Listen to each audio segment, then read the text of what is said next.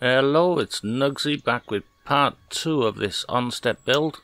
In this one, it's all about motorizing the mount, and it's going to be a lot shorter than that first video. If you missed the first video, you should know that motorizing your mount in itself is not going to help at all without the OnStep controller built in part 1. So let's get right into it.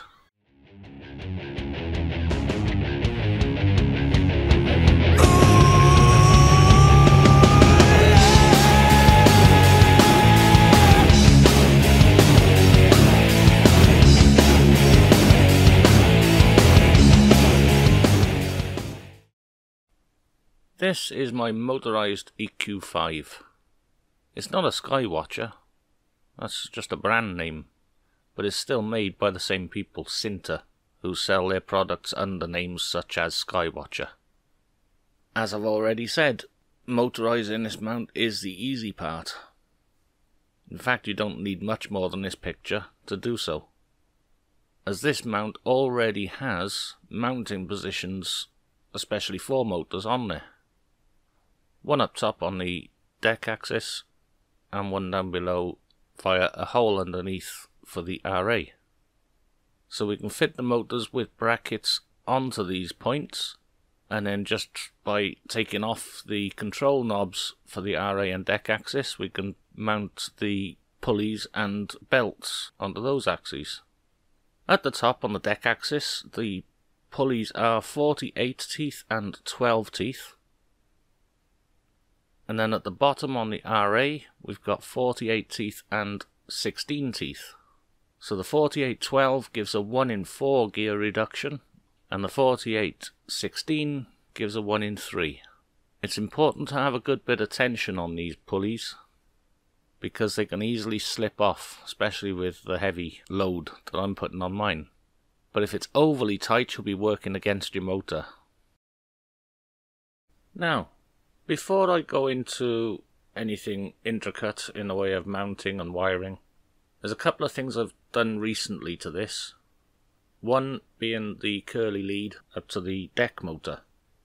This allows for full movement, uh, it doesn't snag on anything, it doesn't pull it tight at any point.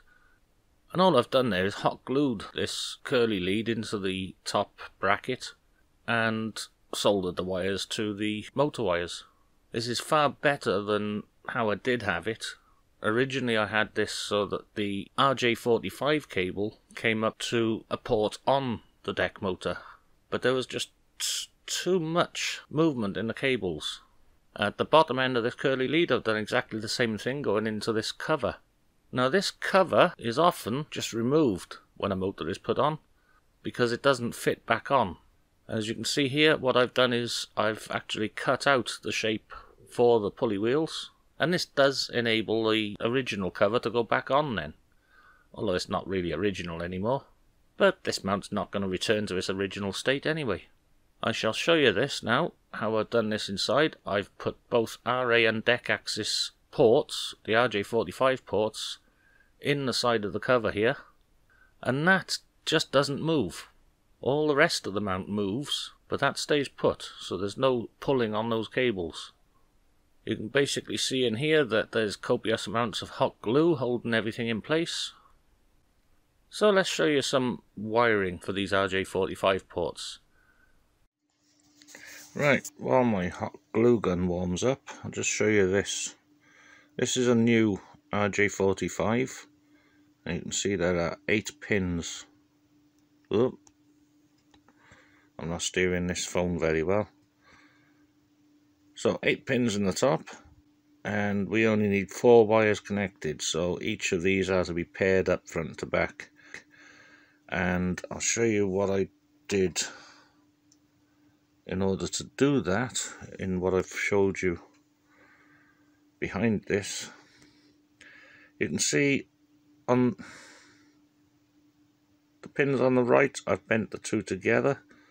And then the second pair I've bent together going the opposite way. I've not yet done the others, but that is just to show you.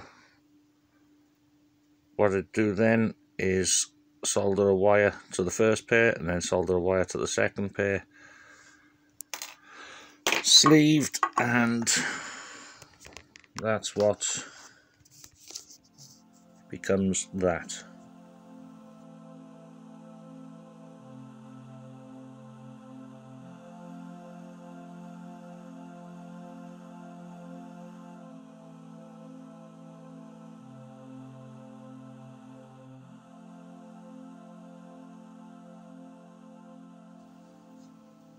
All right then. So when it comes to fitting the motors, um, mm, a lot of people do show it and it looks like a speedy process and it kind of is.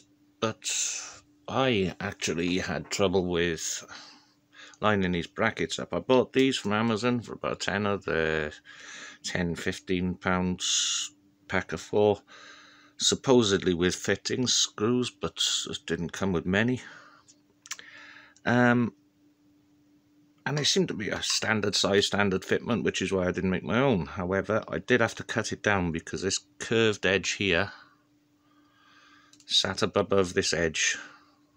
So I had to cut a bit off the back and I did a little bit too much. So I've got a slight taper on there as well, which means the whole thing can skew.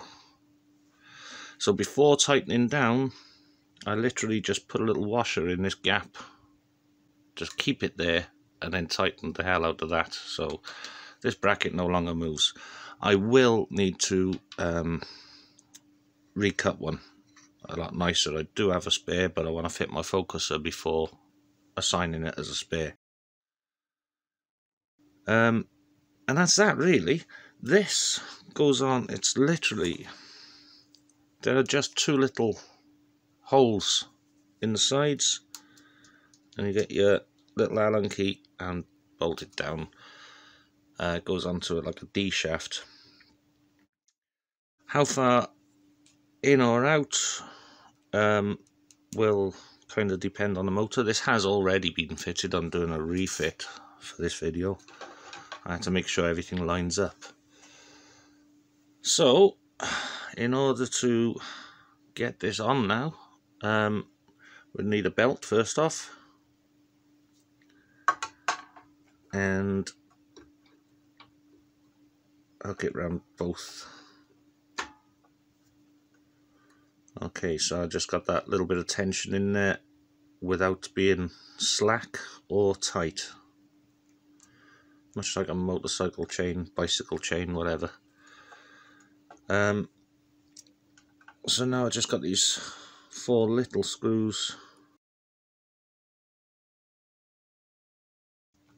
Okay, so I have the sorry for the shakes.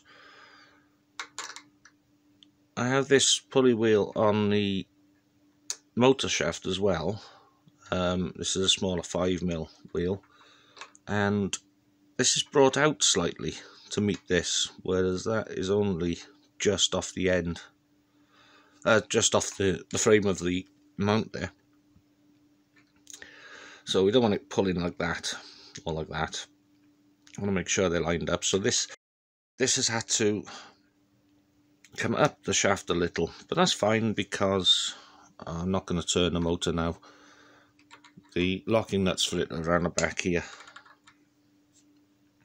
Uh, it's the same system anyway. You've got the locking nuts and you can just put that as long as the locking nuts actually lock onto the shaft and no tapered end or anything. So that's basically that, and once all those four screws are in, that is mounted. Obviously, on your first mount, you're going to need to sort out exactly where that bracket needs to be to have the right tension on this belt. Remember, not too tight, a little bit of play, but not enough to uh, miss as it uh, you don't want it pulling off the teeth as it goes around Okay, as before, this Dec motor has already been fitted and I'm just doing it again for the video bit.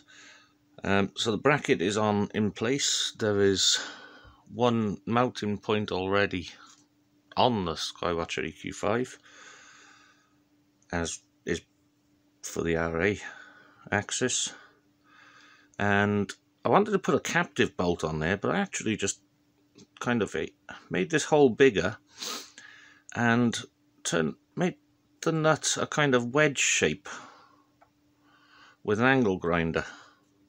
So when I screw down on this, the wedge shape drives into the bracket and holds it solid. Um, yes, this can be undone and slid up and down the axis for the, because this is an elongated hole here, uh, for the belt adjust adjustment. Um, so yes, I fitted the RJ45 port and brought it through to, I just used some male headers from the PCB project. And on the motor then some females. So here goes. Um sure I've got my screws handy okay so plug in and we just need to make sure that's all nice and hidden. The more hidden the more better.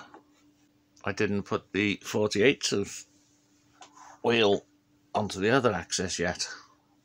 So I'm going to need to do that first because the belt has to go on before I tighten this motor down this may or may not go off camera a minute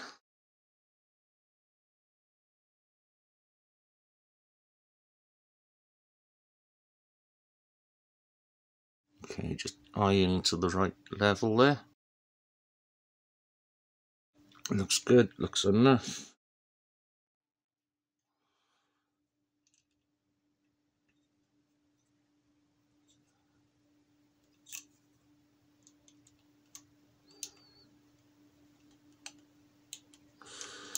Come on, get in there. Don't want to let that motor drop because it'll yank all the cables if it does.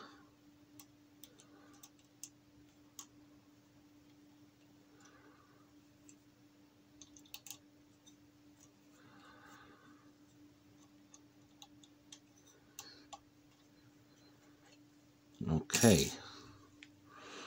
So now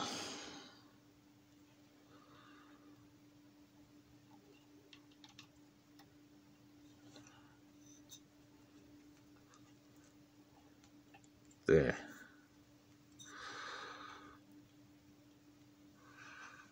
Now I can tighten down on him.